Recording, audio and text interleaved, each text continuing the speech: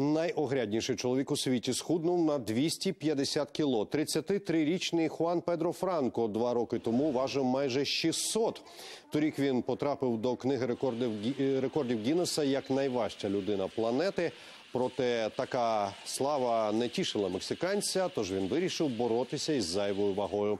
Після низки операцій він сів на сувору дієту і займався фізичними вправами.